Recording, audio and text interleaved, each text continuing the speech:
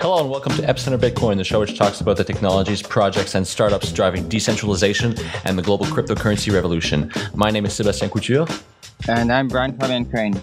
We're here today with uh, Siân Jones. Uh, you guys all know Siân Jones. We've had her on the show before. Uh, you've also perhaps listened to her last uh, regulation episode from the Amsterdam conference, which we just put out uh, two days ago.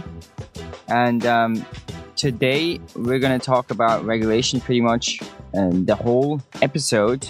There's a lot of things that have been going on, so uh, hopefully you know you'll be able to catch up with kind of what the situation is in terms of regulation and how Bitcoin businesses are regulated, uh, especially in Europe. Uh, hey, Siân. Hi there, guys. Lovely to be back on the show. Hi.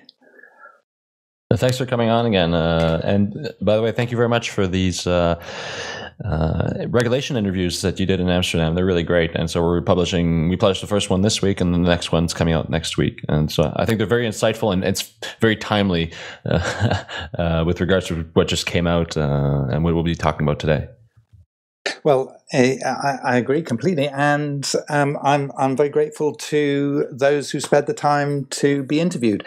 Um, in this uh, first of the series of two, we had Brian Skalatos, who's a partner at uh, a tax uh, law firm in uh, the USA, and he was talking about um, the IRS, the US IRS position on uh, on Bitcoin, cryptocurrencies, virtual currencies. Uh, we had Esteban van Goor, who's a tax lawyer at uh, PwC in the Netherlands, who uh, specializes in uh, VAT or European sales tax.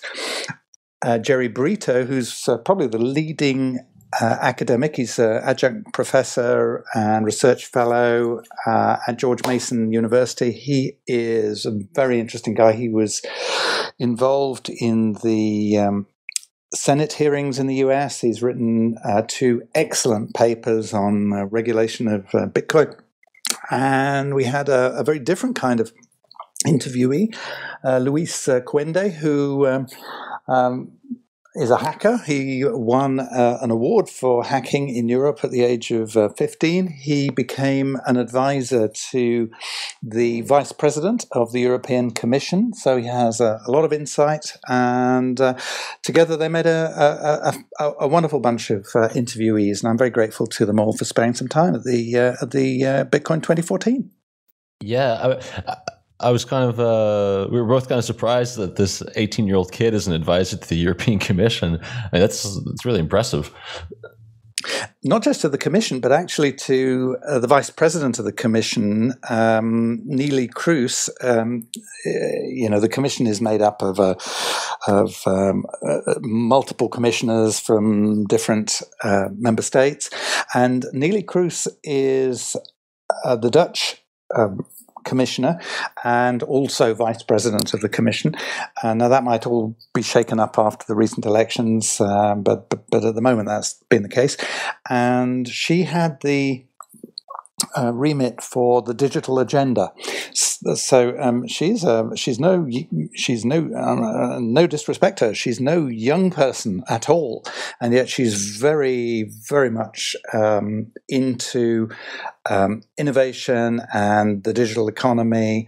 And uh, she reached out to um, Luis, and um, he he's one of her advisors. Absolutely brilliant, fantastic chat to listen to. Yeah, it was especially thought it was interesting that he mentioned uh, apparently he raised uh, like a mm, pretty significant fund of run, uh, round of funding, especially for Europe, and is starting a Bitcoin exchange in Switzerland. So I I never heard of that before, so that was very interesting. So I'm curious to see what comes out of that. I guess uh, I, I teased him. I teased him about moving to Switzerland because, of course, Switzerland sits outside the European Union. So he's moving from Spain, which is within, to somewhere outside. Even though he advises the, the European Yeah, that's Commission. a bit ironic. Yeah. Well, we also just got back from Coin Summit, so we were in London uh, until. I mean, I got back yesterday. I think Seb got back Friday, and uh, you know we spent two days, uh, Thursday, Friday, at the conference, which was in Canary Wharf. Uh, this was a conference organized by Pamir Gelenbe. He's also been on the show, sort of at least for a short interview. So I did the short one, and, and Seb, you you talked about the conference with him before. So yeah, it was a it was a great event. Lots of great speakers. Um, we did some really great interviews too. I think that will be coming out. Um, I guess in like two weeks, starting two weeks, maybe after we've done uh, Siân's second regulation episode. Yeah, it was a great conference, and just hats off to Pamir and his wife uh, Gulnar for for putting on such a great event. Um, I came away from that event pretty, you know, very energized. Uh, as always, when I come back from a Bitcoin event, it's great to meet everybody there, and uh, and uh, always a good time. So, great conference yeah. with like really. I, I, thought you know quality panels. Um, I thought the panels were of pretty good quality and high, you know, high level quality. Uh, maybe not, not every. I was maybe interested by every one of them, but uh, some really in, important topics were discussed. I, I, thought what was kind of interesting was that you know if if you know Canary Wharf is like the Wall Street of London, so there are all those huge uh, banking headquarters. It's sort of a very sterile area. You know, nobody lives there basically. Uh, and it was really in the middle of it in this glass domed space, so you could see outside, and you know you'd see the uh, Citibank headquarters of the investment bank at least, HSBC, all these uh, big investment banks. JP Morgan also. Yeah, yeah. And so we yeah. were like sitting in the middle, kind of doing this Bitcoin conference. What I thought was kind of interesting was that there were basically no bankers there.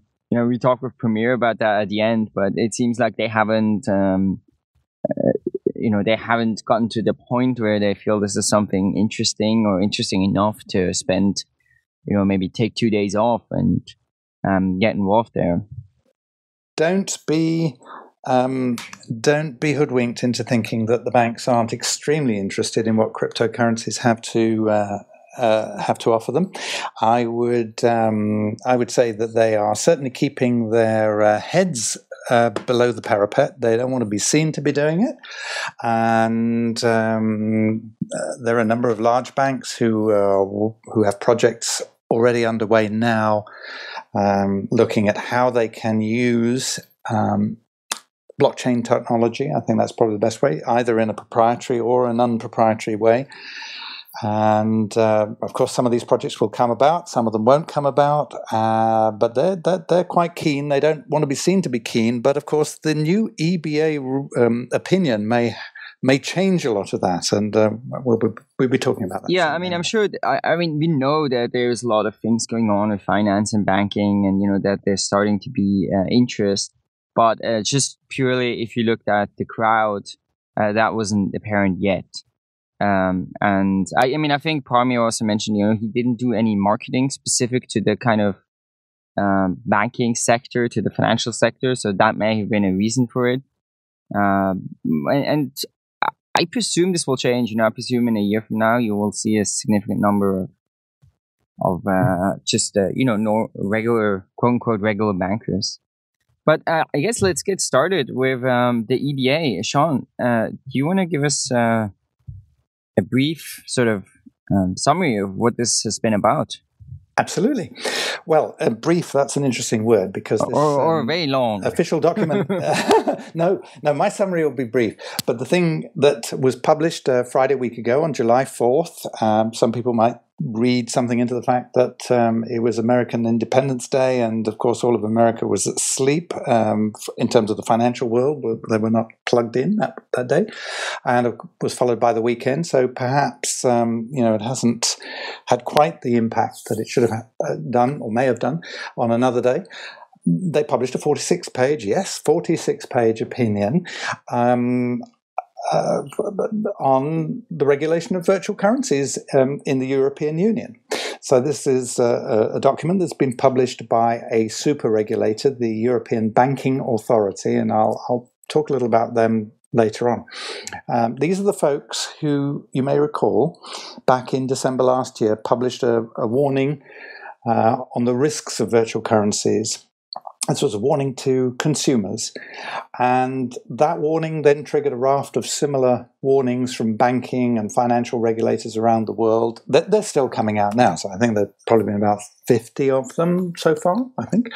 And they've all pretty much um, been uh, echoing the, the, the, what the EBA uh, published back in December last year.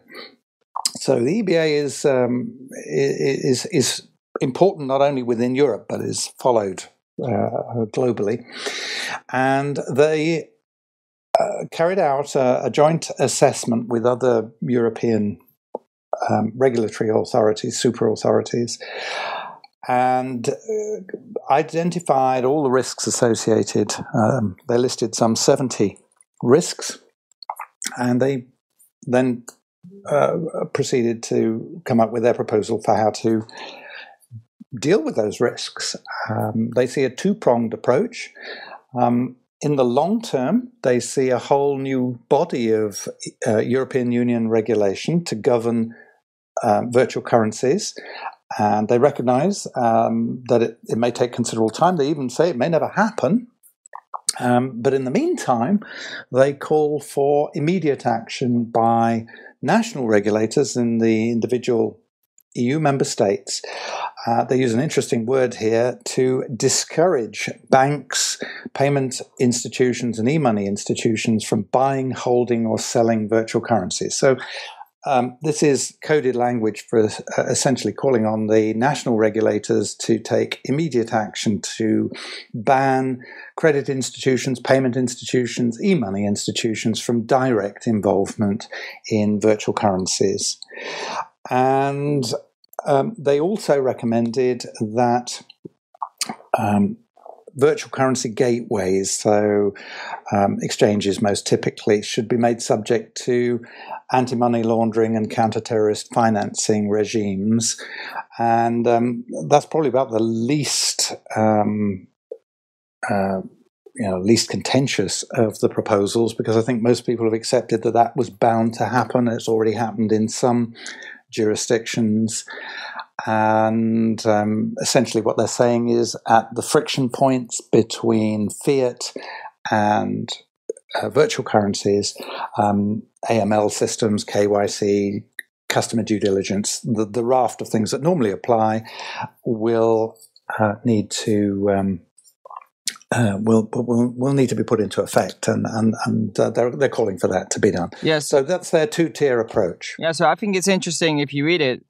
Uh, right they talk about this like short term thing and the long term thing and the short term thing is like oh, oh that's you know not too bad and then the long term uh, ideas they have are just completely uh, crazy i mean they, they are literally impossible uh, to comply with uh, they, uh, they're completely absurd but perhaps before we go into the um, i don't know where should we start should we start with the long term thing well, the, the long term thing, yes, is a good place to start, but possibly um, there's a kind of uh, I, I think we need to understand the viewpoint, if you like, where the EBA is coming from.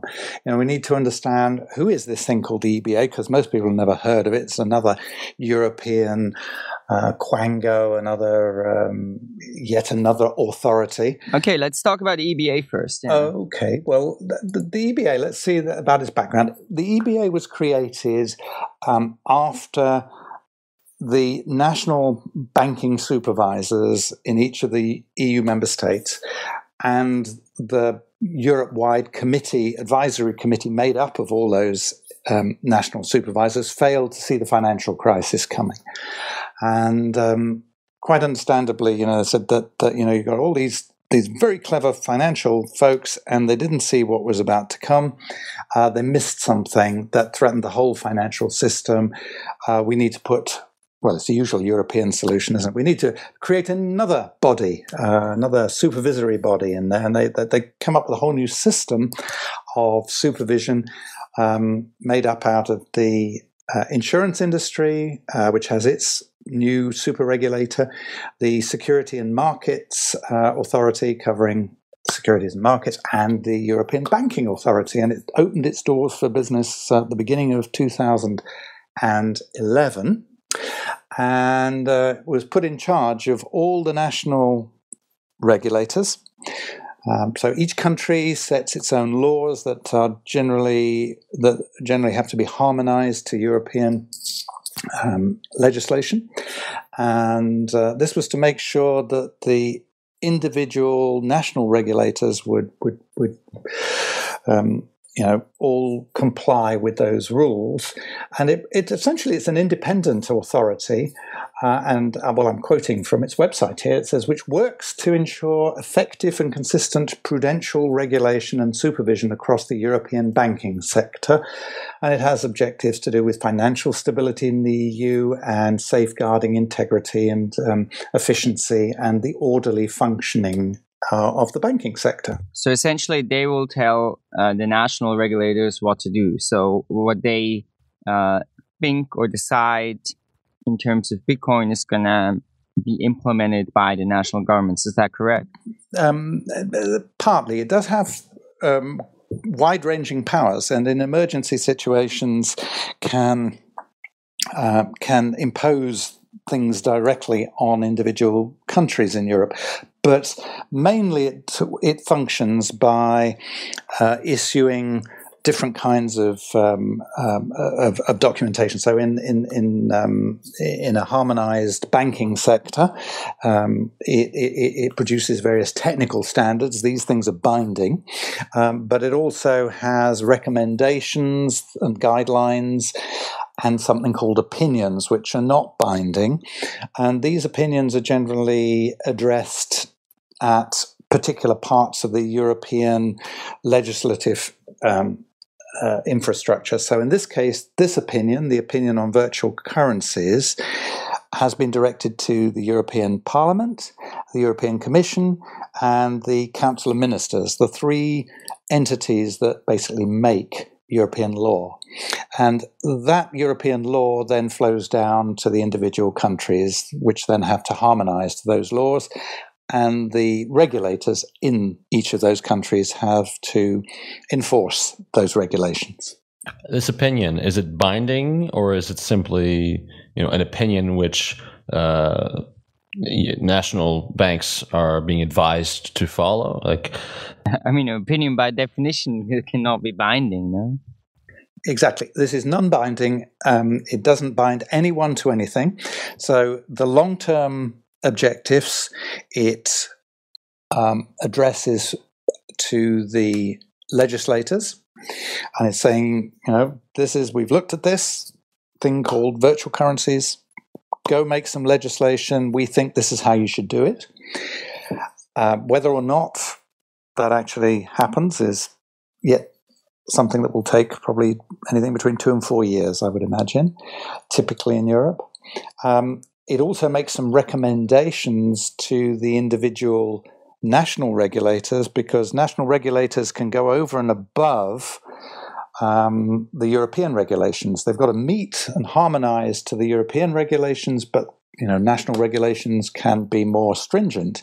And so they're making recommendations to, as I mentioned earlier on, discourage banks and payments and e money institutions from buying, holding, or selling virtual currencies. So that's a recommendation to the individual national supervisors to do something specific in the short term. They could ignore those recommendations or they could follow them, make them a little bit stronger, a little bit weaker. Uh, they've given them room, wriggle room, as we would say in, in the UK, uh, to um, work around this word of discourage. So that coded language for ban, but a country might not necessarily ban. Well, let's talk about what those actually are. So maybe I will give you, so I'll give maybe a very short sort of like how I interpret it. Then maybe you can, uh, you can, Siân, you can uh, say if that's totally off or what you think. So my my impression kind of is that they have their existing uh, regulations, their existing uh, safeguards, control over the financial system there's this new thing called a virtual currency, how they call it, or cryptocurrency. Um, and now they're basically saying, oh, this doesn't fit in our system. Like this works differently, anonymous, anybody can create it, people can get hacked. Like, what if uh, it's fraud? Like, what if you send it and then you didn't want to send it, the wrong address? What if, uh, what if it's issued by a criminal? What if it goes to a terrorist? Like, etc., etc., etc. So they list all these risks and it's like, well, obviously, uh, you know, we have to make sure that all this, all these things that you know that that can't happen, and that our existing safeguards that we have of the existing financial system, like sort of, we have that same level of control. And then they they I think they go from there and they issue like, oh, of course, then, yeah, uh, you know, anonymity is a problem. Of course, then it's a problem that anyone can create a. Uh, cryptocurrency of course this is a problem and then they come up with all these lists of measurements of like how you can basically or you could force virtual currencies to sort of behave like the existing financial system because of then then of course they have the same level of control now, that completely does not fit at all with uh, cryptocurrencies and kind of like blatantly disregards their nature. Uh, that's kind of my impression. I, I I would suspect they're probably totally aware that this is impossible, but they just go ahead anyway, and then in the future they'll uh, you know be sort of be a situation where well we have all these, although of course it's very premature since this is not actually uh, legal in any way, but I could see this scenario like that, that they say, oh, we have all these rules now. You know, if cryptocurrencies don't comply with those rules, well, you know, it's their problem. We made specifically some nice rules so you could actually fit in. Um, and so it'd be sort of a, also a um, basis on which to enforce things against uh, cryptocurrency businesses. Well, what do you think, Siân? Well, I think you've summarized it very well. You don't really need me on the show at all. um, you, you've said it exactly. Um, the, the, they've said, here is the banking system. We've, we, we, we've been set up to harmonize and level out this uh, playing field that makes up um, the, the traditional financial services sector, particularly the payment banking and payment services. And there's this new thing that's come along, as you say, but virtual currency. So it, it, it, it includes cryptocurrencies, but it could include other uh, privately issued um, uh, currencies as well. And well, they they're, they're, different, but they perform some of the same functions. So let's have a look at uh, let's let's dissect them and have a look at them. And hence, they sort of picked out this list of seventy uh, risks associated. Now, many of these risks, of course, are associated with the traditional world as it is now, the the regulated financial services sector. Um, that doesn't necessarily mean that um, the EBA is is, negative about them. It's just saying, you know, you want to understand them. We've looked into them, and these are the risks. And well, yes, you're right. They don't quite fit. So, how do we solve that problem? Well, we make them fit. And we make them fit by saying that um, uh, uh virtual currencies need to um, be as close uh, as closely as possible make themselves regulatable. Um, let's put it that way. Um, someone needs to be accountable. So if you deal with, say, an individual entity like, uh, let's say, PayPal, for example, an entity that was set up um, years ago to meet some of the same objectives that, that some virtual currencies do now in terms of reducing costs, for example. That didn't actually happen because it became part of the system. And um, there's some parallels you might want to draw there. Um, you know, there is an entity called PayPal. It has to register itself within the European Union in at some level. It has to uh, be authorized. It has to meet all these regulations and, of course, incur the costs of doing so. Well, cryptocurrencies if they want to exist within the financial services world, then they will need to structure or restructure themselves in ways that will enable them to meet certain rules that are very similar to the rules that operate within the traditional financial services sector. And so long as they do that, then um, then um, we got no problem. And if they don't, then they are not going to be allowed to exist or coexist or interact with the financial services world, the regulated financial services world. Let's talk a bit about one of those things, which I thought was sort of the most striking, um, which was their idea that you know one problem is these decentralized currencies, sort of like criminals can issue them, anyone can issue them. And there's no control over the code, no control of the integrity, etc.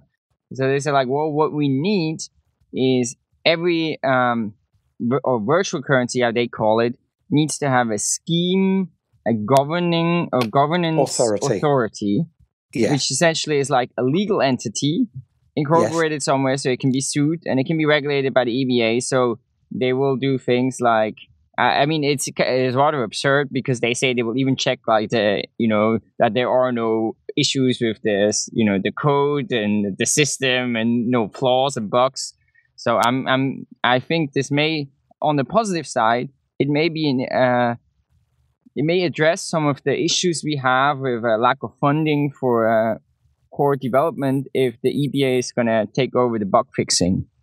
So, uh, oh no, the EBA won't be responsible for bug fixing. No, this was, of course, uh, slightly sarcastic. Uh. yes, but what they're saying is that that that um, well, I, the, the, best analogy I can give is this: um, if you take Bitcoin, some entity will have to take charge. Let's put it that way of Bitcoin. So, if we're looking at existing entities, it might be the Bitcoin Foundation, for example. And the Bitcoin Foundation will have to have um, a part of itself that is incorporated or becomes a legal entity within the European Union and applies to whatever the regulatory authority will be for virtual currencies, if that happens. And uh, say, we, we, we have taken control of the key elements of uh, Bitcoin. Uh, so we control the integrity of Bitcoin and its um, most important components, things like the protocol and the transaction ledger. So, although these things might be decentralized in the way they function, uh, that they have to be controlled in some way, or, or their use is controlled in some way. So, so, you know, nobody can come along and just change the rules. But that's that's by definition that's by definition impossible. No, the whole point of a decentralized currency is that this kind of thing is not possible. So when they demand that for Bitcoin, that doesn't make any sense because the Bitcoin Foundation doesn't have this type of authority, and it will never have this type of authority. So the only the only way, I guess, is if somebody comes and they do like Eurocoin or something, and you know you start off with having a centralized thing, I mean, okay, but then it's just a centralized currency. There's not nothing really novel about that. Well, it may not be centralized in all its aspects, but there needs to be this authority that, in respect of each currency, each virtual currency, that is accountable for the integrity of that currency. But you can't hold someone accountable if they can't enforce things on, you know, I mean, if they can't tell miners which version of Bitcoin, uh, what kind of uh, version of the software to run, uh, then you know you can't hold the Bitcoin Foundation accountable, even if they're incorporated in you, etc., and say, "Hey, we stand up for this," because well, they, they can't necessarily. They can they, you can tell them something to do, but if they can't make the miners do it, if that can make the network do it, well, this is completely irrelevant. Well, um, they don't say they have the answers. In fact, the way that they refer to it is um, in coming up with the shorter and medium term measures is to say, well, this is to give a breathing space uh, for um, new innovations in and, and, development of virtual currencies, some of which will be to um, re-engineer themselves or to engineer themselves in ways that uh, will enable them to comply with this kind of um, regulated world. I think in term in the Bitcoin world, this is totally impossible. There's no way to do this with Bitcoin. Uh, there really isn't. I am. the, the whole point of Bitcoin is that this is not possible. it is you're right. You're, you're, in the world as it is now, in the virtual currency world as it is now, it, it, it does not compute. Um, so, so you're going to have two kinds. You're going to have a two. Uh, in fact, I wrote about uh, wrote a blog item on this uh, a week ago. Uh, there will be a if if this comes to pass, there'll be a two tier system. There will be virtual currencies that are regulated and that have engineered or re-engineered themselves in no ways users. that enable them to be. maybe, maybe not. Uh, you were saying the the big banks and uh, other financial institutions um, are still interested in using blockchain technology. Then they have to comply with all kinds of crap, and it will be, uh, you know, it will be it will be terrible. I mean, no, nobody's going to use that. I, I don't think this is. I mean, okay, maybe it's going to make it like marginally better than existing banking infrastructure if they use the blockchain technology. I don't know, maybe, maybe not. If if they have to build in all kinds of safeguards for the EBA and, and other regulators, then I can very well imagine that it's not going to be any better. Uh, but regardless, it's not going to be the same at all. And uh, of course, there's no way to force users to go there. So Absolutely. I'm curious, like, what do you like? What do you think? So, given that this is essentially, let's just say, for maybe there's a way to do other cryptocurrencies that comply with this if you start from scratch, mm-hmm. but with Bitcoin, this is impossible. So, what do you think? Um, do you think they know that, or are they are they stupid? No, no, no. I think um, I, have seen various um, articles in the last week um, saying the EBA hasn't got an idea, or uh, don't understand um, virtual currencies, and um, they completely misconstrue it. From their perspective, they understand it very well. And this is what I was saying earlier on. It depends on your, you know, where you're looking at the problem from. If you're a risk manager, which is what the EBA is there, it was there to protect the integrity of the financial system, stability, and, and so forth, the financial system in Europe. Um, you, uh, you know, you look at the risks, which is what they do, and um, you, you, you, you, you uh, come up with some measures to deal with those risks. They understand those uh, very well. They don't care whether um, whether Bitcoin um, uh, fits or doesn't fit. It doesn't matter to them whether it fits or doesn't fit. What it says is, if Bitcoin is to be part of the financial, uh, the regulated financial sector, then uh, it will need to fit if that's what the legislators choose. Of course, there's a a huge gap between between the EBA's opinion and the European legislators um, enacting something that will look like this. Maybe it never will. Maybe it'll be something quite watered down. Maybe it will take into account all the the, the reality of, of, of how virtual currencies are at the moment. But uh, um, you know, if you want to be part of the system in the way that the EBA sees it, if you want to be part of the system, then you need to comply with all this stuff. And it's quite interesting uh, to show how well they understand it. They say um, they talk about the, the, the risks versus the benefits of cryptocurrencies. I mean, if, if, if, I could just jump in here, um, my my idea on this is that they do understand, like you say, you know, they, they do understand uh, cryptocurrencies very well, but you know, they're not there to protect the integrity of the conceptual kind of ideological uh, things that we're trying to do with this. Absolutely. Now, um, I just kind of want to play devil's advocate on this. So, uh, on you know, this opinion which uh, well, most people seem to think is negative, but in fact, at the conference when we were talking to people about it, for instance, I don't think they seem to really grasp the the power that the EBA had on um, national banks, and on, above and beyond that, some people seem to think that it was positive news because you know now Bitcoin can be regulated. Now we have you know potential frameworks for regulating Bitcoin. Yeah, well, I mean, I think that there is really a, a, huge difference here between the short term and the long term, right? Right. So I think the long term is you know that's just a we'll see what happens with that. But you know, if those people would be sort of in task of uh, coming up with a regulatory framework, and if they did it according to what they write in this paper, it would first of all uh, be total disaster. It wouldn't work. Uh, but of course, that's going to take years anyway until anything comes of that. So in the meantime, we have this short-term thing, and in the short term, there's really not too much negative. In the short term, it's uh, I think it's perhaps very positive what came out of this. Yeah, absolutely, I agree. The short-term implications are are good because they provide certainty in the short term.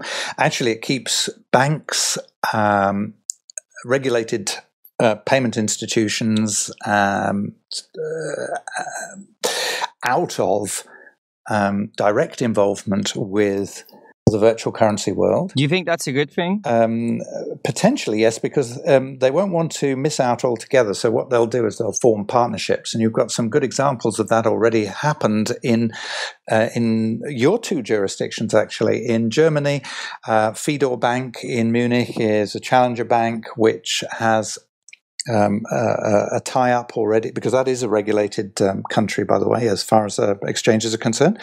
And they've done a tie up with uh, Bitcoin.de. And in France, um, I think it's Paymium did a, a, a tie up there with with with uh, with a um, uh, with a with a with a, which is a payment institution, did a tie-up with a, a, a Bitcoin exchange in France. I think it's called Liquid Bank. Uh, the bank deal with deal with, yeah, something like that. Yeah. Just very briefly on that. So that's actually one thing I've been wondering about as well. Like, what does this mean for uh, what uh, Fidor Bank is on with Bitcoin DE? Are they allowed to keep doing that? Is is that something? That is more on the side like, hey, uh, no, you're getting involved here? Uh, what do you think? Um, yes, and indeed, the EBA opinion uh, uh, gives tacit approval. It, it, it, in fact, more than that, Does it's it very really? specific. Oh, yes. Um, if if you just look at, uh, at, at what they say about that, um, uh, they say the immediate response, which is what they call these short-term measures, would also still allow financial institutions to maintain, for example, a current account relationship with businesses active in the field of virtual currencies. But the Fidor Bank does a lot more for Bitcoin DE and for uh, Kraken, I think, than just uh, maintain a current account.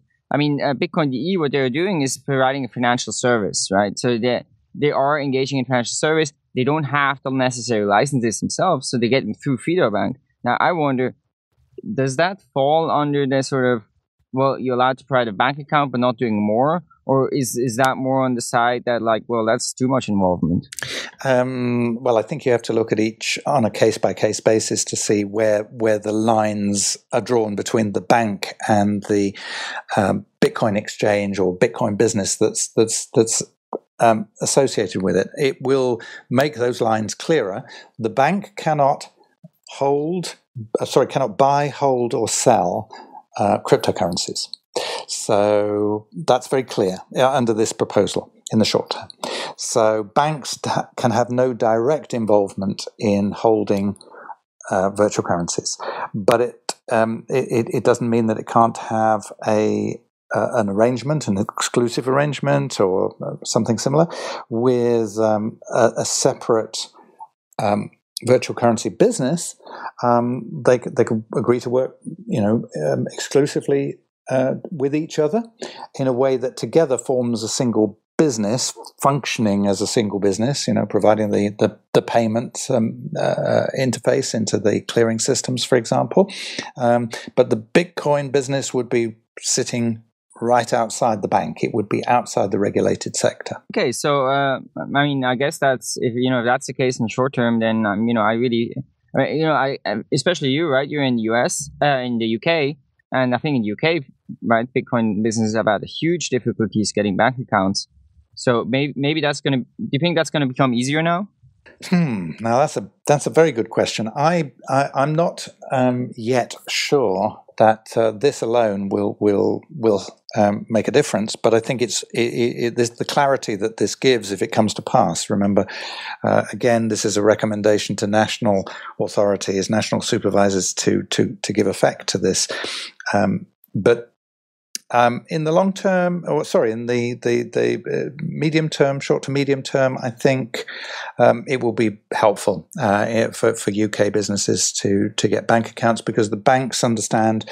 Um, um, where that separation is, and for them to um, have exposure to virtual currencies, they'll need to to, to handle accounts uh, for businesses that um, that are in that sector so what, also seems to be the case, right? So here in Germany, they did at one point say this is uh, like uh, some private money, and uh, so essentially, like some things would be financial services.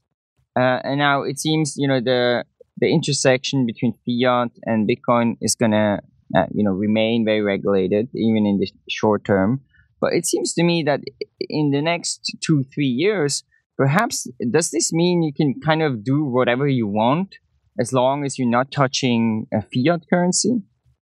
Uh, broadly speaking, yes, unless unless individual countries in Europe have a more um, regulated um, regime. So in Germany and France, um, you both are subject to um, more regulated regimes in that um, cryptocurrency exchanges are subject to regulation in, in both jurisdictions, for example, right now, because your national regulators have said so.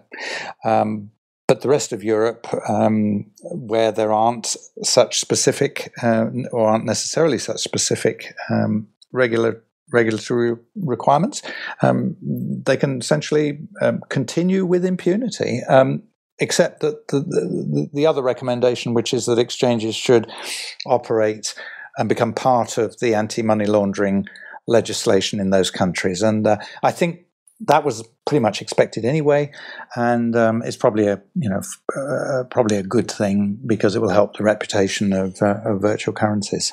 So if you compare the, let's say, the um, uh, competitiveness of Europe versus the US as a sort of a place to start a cryptocurrency Bitcoin business, do you think this makes a difference? Do you think, uh, what do you think is the better place now?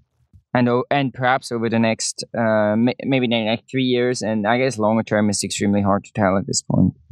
I think it's hard to tell, but, but but 2014 is certainly the year where where where the landscape is uh, is changing almost uh, uh, week by week, day by day, because you get an announcement like this, and you say, well, if all this comes to pass, then Europe becomes an extremely uncompetitive place for um, for cryptocurrencies. But maybe a great place in the next two, three years. No, but in the short term, a, a, a fabulous place. So, um, I th- uh, certainly some parts of uh, the European Union will. You know, if, if if you say, well, right now you, have got to be regulated in Germany, you've got to be regulated in in France, and one two other places, uh, but you don't have to be regulated in UK, uh, UK could be a wonderful short-term place to, um, um, to, to to start a business. The problem, uh, the elephant in the room, is the long-term problem, because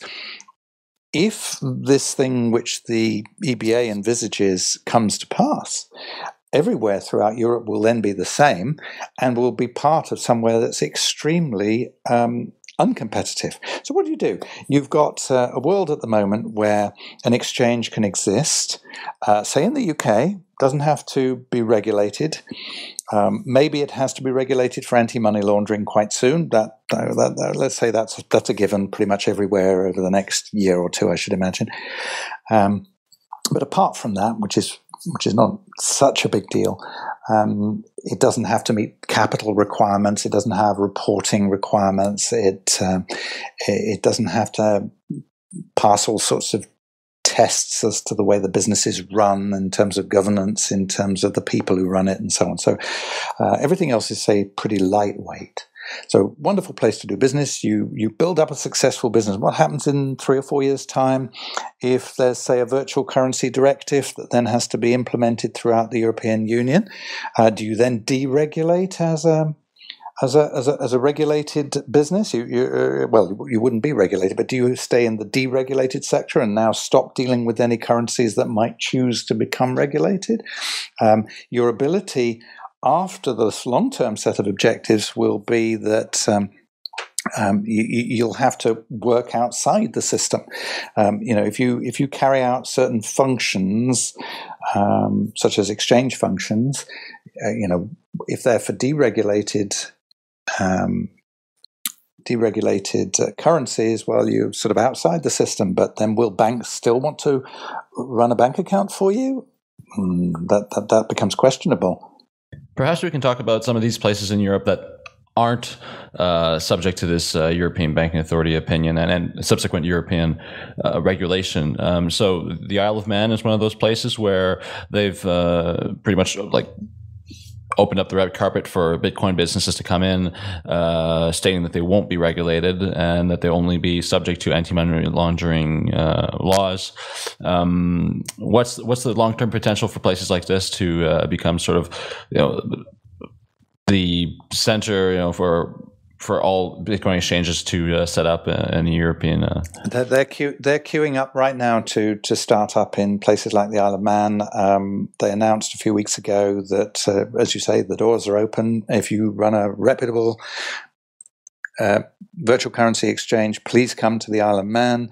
Um, all you need to do is register the fact that you're um, dealing in virtual currencies um, and that uh, you comply with our anti-money laundering laws and um, uh, uh, and for the time being, we have no plans to to regulate. So, uh, what a wonderful um, incubation environment um, Isle of Man will be.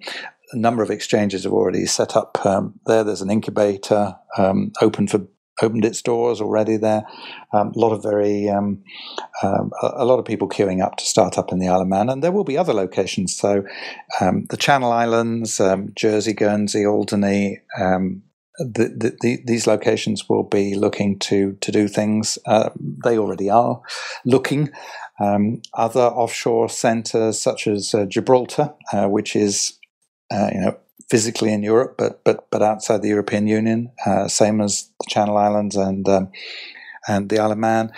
Um, all, all, all waiting to, uh, to, to, to welcome business. Isn't that a risk, though? That all, I mean, if we if we get to a situation where uh, most, if not all, of Bitcoin exchanges are situated in, in these jurisdictions, that uh, a shift in uh, in regulation or a shift in policy for those for those uh, jurisdictions uh, down the line can just basically effectively run all of those exchanges, you know, um, illegal or unregulated or is, isn't that a risk? I mean, I think as an as an exchange, you won't be able to do that anyway because you're gonna have to interact intersect with the, you know, if you want to do a Euro Bitcoin exchange, you know, you're not gonna be able to avoid the regulations if you want to ha- allow people to use a bank transfer, SEPA, etc. Right? That's right, because you have to be within with the SEPA to uh, be able to accept euros. But I guess it's interesting if you're a pure Bitcoin business and you don't really care about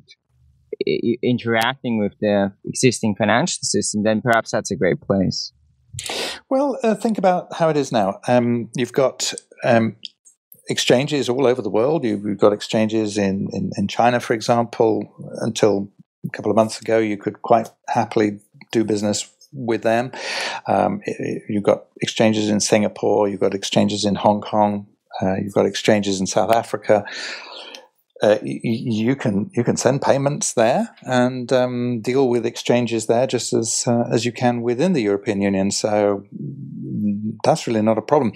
In the USA, they they tend to extend their regulation beyond their shores. So they say that if you do business f- from outside the USA, but with somebody who's resident in the USA or who is a US citizen, then our US rules apply.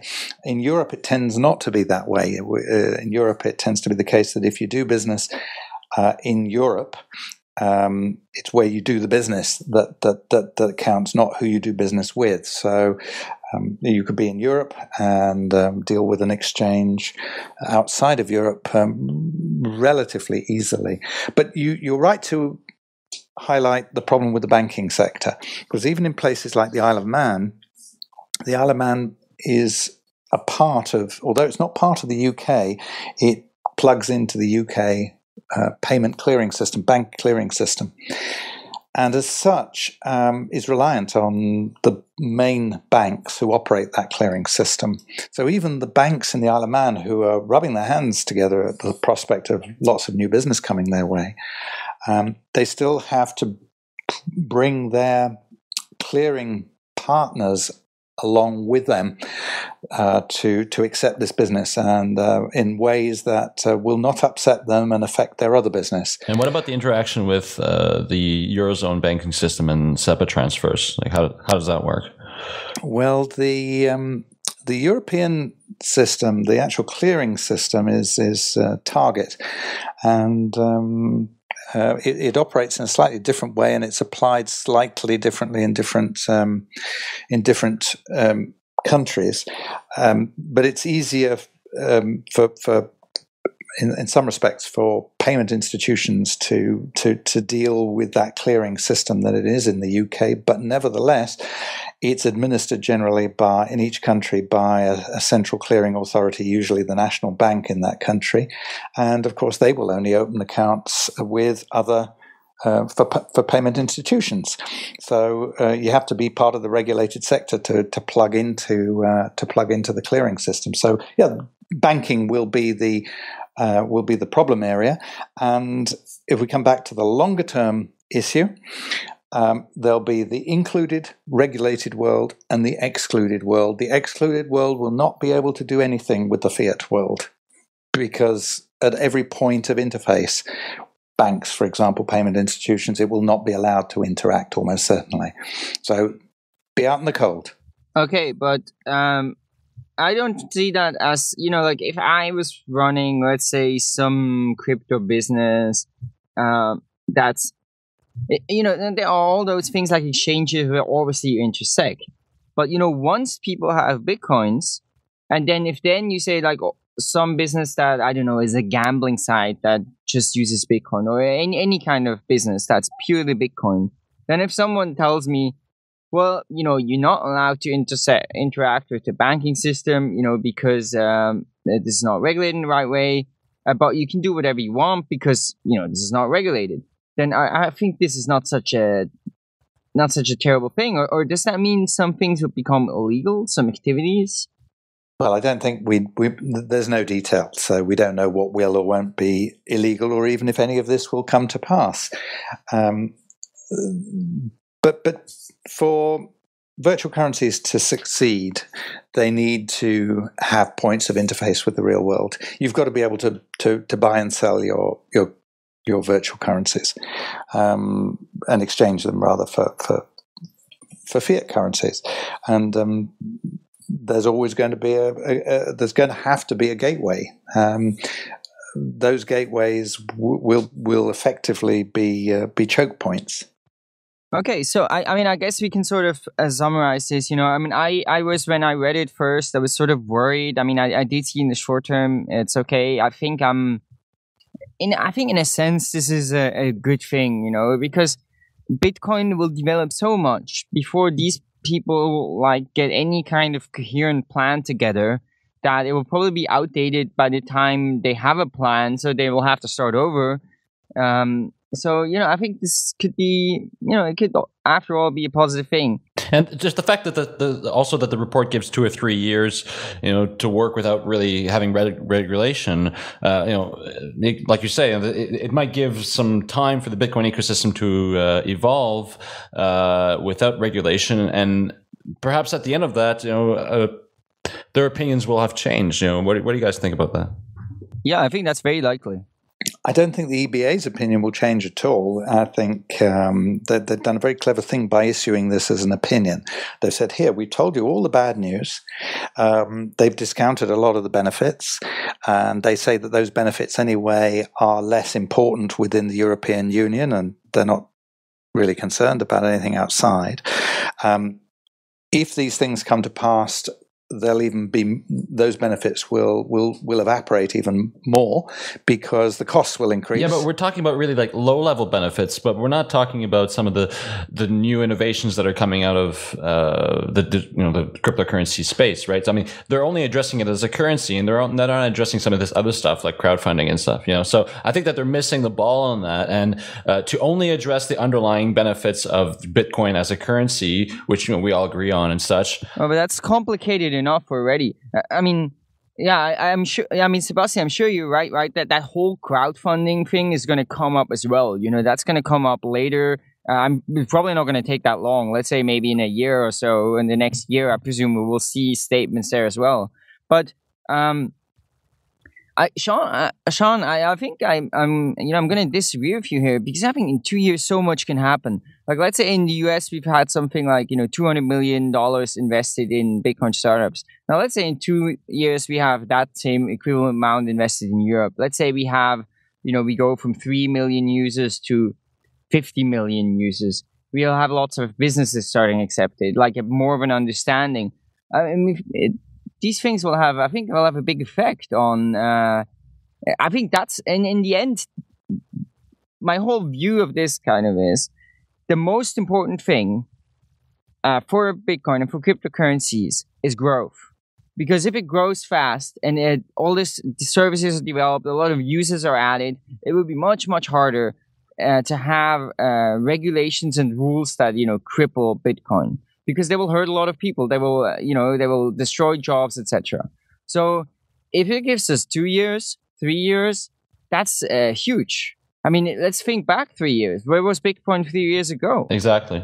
You're, you're absolutely right. Um, the faster Bitcoin and virtual currencies generally grow, uh, the more important uh, the sector becomes, um, the more uh, important politically, um, uh, not stifling, uh, with not over regulating, um, will, will, will, will, will be on the agenda. But um, think about the European legislative process.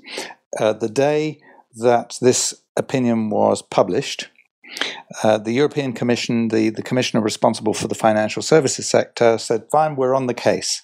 Um, his uh, um, his office issued a, a, a, response to one of the newspapers, uh, one of the news organizations, I think it was Bloomberg, said, Yes, we, we, we, this is obviously really urgent, we're going to have to start on this straight away. Now, admittedly, the, the focus there was on um, on anti money laundering as the most urgent thing, but yep, we're going to start work on this thing. So it will take um, probably um, a year or so, um, maybe two, for a draft virtual currencies directive to come out, if that's the route that they choose. And that then will be subject to uh, negotiation and revision over probably another one year period where all the different uh, countries will have their input and the politicians will start to have their say. And eventually, a final draft will come out in maybe two, three years' time that will go before the European Parliament. And these are all politicians voted direct, uh, you know, elected directly by um, their constituents in Europe, by people like the three of us. And uh, these politicians will then say yay, nay, or change some of the some of what has been proposed. It'll then go to the Council of Ministers, which are basically the, the governments of the 28 member states sitting together as a kind of committee, as a council, and eventually, if they endorse it, it becomes law. So this thing that is down the line, maybe three, four years, it will start now. It will start in these next few months. So, unfortunately, um, we need to mobilize uh, politically and locally within our different countries to get our viewpoints about um, about virtual currencies across and the, the value, the economic value, the benefits, and so on uh, uh, may uh, may need to be weighed more greatly in this balance that goes on, so that the end product is not something that's over-regulated or perhaps not even regulated at all. Yeah, but some of the, some of these values and viewpoints are, in fact, uh, challenging the current system and the current model in place, now, notably the political system and you know the democracy itself. So. Uh, I mean, if, you, if we're looking at like broader stuff, you know, for instance, um, how, how, do you think that will sit with uh, with politicians to say that you know we want uh, cryptocurrencies to replace democracy down you know, uh, long term? Wow, that, you mean as in um, as in decentralized voting systems, for example? Yeah, for instance. Yeah, that's uh, that's that's an interesting uh, thought, isn't it? You know, if if if if I think that our legislators across Europe will probably have um, will struggle to understand some of the concepts behind cryptocurrencies. They'll you know they'll they'll probably look more closely to um, the existing fiat world, and so will relate very heavily to some of these points that are raised by the EBA. They may kind of then get the idea of virtual currencies a bit more because if there's enough, if enough people like the three of us and the the huge community that there is in Europe, that that gets across to our national legislators and to our national European legislators that represent us get these things across, uh, then um, they'll understand the some of these more um, uh, ideological concepts behind uh, behind. But will they see that you know this might threaten the whole system of uh, of, of, of government? Ooh, I, I, think they might struggle with that one. Yeah, I mean, I think this is obviously just the first wave of these things because uh, you know, Sébastien, as you correctly pointed out, this only concerns Bitcoin as sort of money and of course there's all these other things that uh, you know they haven't dealt with. And you know well, they're, not, will... they're not interested the eba has no interest in any other uses. And and in, indeed in a in in their world well they, they're about the financial system though. I mean if you talk about uh, when you start having derivatives or shares and all that kind of stuff you know i mean well derivatives are an interesting one. That's a different that's a different um, uh, bureaucracy. That's the european securities and markets authority and okay, they may yeah. they may also have something to say about it. But actually that's that's not so difficult to understand because derivatives that are based on Bitcoin um, are just derivatives. What they're based on doesn't really matter. Um, but if you've got derivatives as are proposed in in in um, uh, some some of the Ethereum uh, projects, for example, that are being talked about, um, these these are more interesting because they them the the, the, the, you know the, the derivative it's, itself then uh, may be a decentralized agent and uh, therefore not subject to market control. And I wouldn't be surprised if they then come up with something similar to the EBA solution. You know, you uh, for it to be legal, it needs to have a governing authority because if it's decentralized, then obviously there's not an issuer. But if there's not an issuer, there needs to someone needs to be accountable. I mean, perhaps uh, my my thoughts on this and uh, the the fact that this is going to take so long, you know, the fact that this regulation is going to take two, three, maybe four years to to be put in place and enacted at the European level, and you know, by this time, Bitcoin will have evolved. Uh, tenfold perhaps uh, will just show will just go to show and illustrate and demonstrate the the archaic nature of our governments and and illustrate that in fact you know, this new technology can uh, change the way that we do things and, and uh, make our society move forward. So I, I, think that the very fact that bitcoin will be regulated and it, that it will take so long uh, will be a very good uh, well a very good boost for uh, for this new technology. I think we need to be mobilized um, quickly to have some real political uh, or exercise some political force uh, to mitigate um, some of these proposals as early as possible. European legislation in the payments sector has um, um, followed after the event so often. If we look back at the Payment Services Directive um, in the early noughties, the e-money directive, they were being revised, you know, quite frequently before they settled down, uh, because they were, you know, it took so long for each of them to to to be drafted and pass into law that they were then out of out of date already by the time they became law. Similar sort of thing will happen here probably, if there's a uh, if there's the will to come up with some kind of virtual currencies directive in Europe, then uh, you know work will start on that now. It might pop out of the system in um, in three four years time two three four years time. Uh, is that going to be transparent at all this process? Like what's going on or no clue oh yes it will. Yes. The, oh, yes. I, uh, these things were, You know, the, the, the European legislative process is transparent. This opinion and what went into it was completely without transparency. The EBA can take um, measures to uh, to have hearings or, or, or hold um, hearings, and, and so. But but the EBA didn't do that for this opinion. It came up with its opinion and said, "Here, legislators, you go and do something with it." And the next step, uh, the European Commission is always consulting with everybody uh, that's why it takes so long. Uh, so yes, that's why I say we need to to to mobilize and uh, get a voice at uh, at the table now. Because if we don't, laws will be uh, enacted based on what the bankers say. This is the European Banking Authority. It's responsible for the old world, the traditional world, and they're about to say what should happen in the virtual currency world by saying it should become part of it. Okay. Um, now we we need to have a voice in the virtual currency world that says, well, actually, there may be some good reasons not to. Some of the things are good. Um, you know, things like. Um, um, uh, having um, having um, uh, for example, anti money laundering is generally considered to be a, a, a good thing.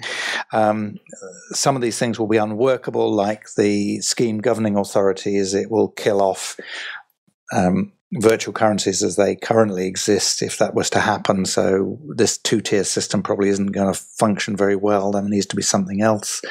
Um, so you know we need to get this the, the, the, this heard this voice heard yeah so it's important i guess for all of us you know that we are active in different countries with different foundations etc you know get involved in that and and try to steer this process but i guess especially if it is transparent uh, then i think that's quite optimistic so uh, maybe before um, before we wrap up because we're kind of at the end of our show uh, Siân, uh, you wanted to give a very brief update uh, about uh, what you've been up to uh, with your company, no? Oh, yes, thank you. Um, well, we're opening offices um, uh, over the next few months in, well, surprise, surprise, the Isle of Man, um, specializing there on uh, regulatory compliance matters. We're going to be opening up in Brussels, uh, specifically with uh, public affairs. Um, so we'll be talking a lot to the European Commission. I guess that office will will will be very busy over the next um, next um, few few months and years. So, are you going to get paid by companies to do this public affairs work, or how, how does that work? Because it seems to be sort of in the interest of Bitcoin versus, uh, or or is that like a company will hire you uh, to do some lobbying for them? Well, um, speaking personally, I, am already active with um, the UK Digital Currency Association, and through that, with with, with tie-ups with other European uh, organisations. And the work that we do there, of course, will be. Um, you know, will be for the general good. Uh, there's nobody paying us for that, but um, um, the, the idea of opening an office is that there will be businesses that will want to have their voice heard. Uh, there are already substantial businesses um, existing in the space, and they will be affected by this by these proposals, and will want to have their voices heard we'll also, uh, you know, there are also other investors, uh, VCs, not virtual currencies, but um, venture capital companies that uh, um, have earmarked this space and want to uh, perhaps um, have a voice that's heard as well. So, um, yeah, there'll be there'll be companies that will will will want to have that uh, that public affairs representation. Okay, fantastic. So. If somebody is, uh, you know, is working on that or is thinking of setting up a virtual currency or cryptocurrency company, then you know, please get in touch with Siân, and uh, you know perhaps he can uh, help you do that you know, on the Isle of Man or, or some place like that that's uh, friendly and where you don't get harassed too much. I guess the good thing for you is that all this regulatory news is just bringing in more business. well, it's my field, so that's that, exactly. that's good. But I just find it extremely challenging, uh, you know, interesting and challenging yeah, so thanks so much, uh, you know, for listening this week, uh, and uh, thanks, Siân, for joining us today and kind of giving us. Thank you for inviting me. Yeah, giving us the update on uh, on the EBA, what's kind of going on uh, with regulation. I think this is, has given us a reasonably good idea of what the situation is in Europe in the next two years, three years. I think at least uh, some rough idea, and, and I think that's a useful thing. So yeah, thanks so much for listening. Um, if you want to support the show, you can, you know, you can support us by tipping or donating at epicenter bitcoin slash tips. You can also follow us on Twitter at epicenterbtc, and uh, you can subscribe to our newsletter, which goes out every Friday. Well, except last Friday because there was a Coinsummit, but next Friday will. Um, and uh, yeah, and that's it. We'll be back next week. Actually, uh, in during the week next week, uh, Siân's second regulation episode is out, and then we'll be back with a regular episode uh, a week from now. Thanks so much.